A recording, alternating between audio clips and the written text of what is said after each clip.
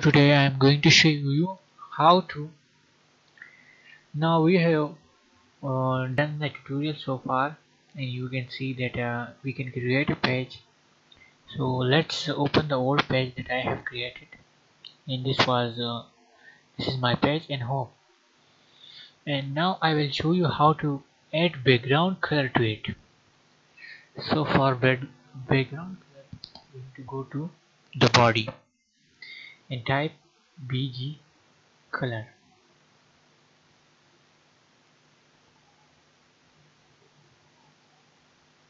Bg color. So for B background color you have to give the code bg color and then the color is name. For example I want to add a color like uh, I want to give a color orange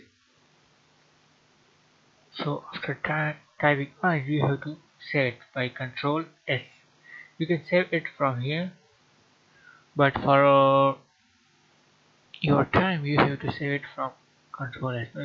Now you can see the background color of the page turns into orange color. Now there are some fonts I want to show you.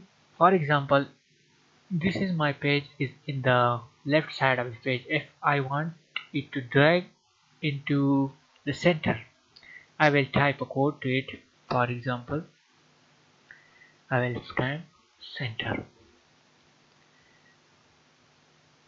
Center and close the tag by center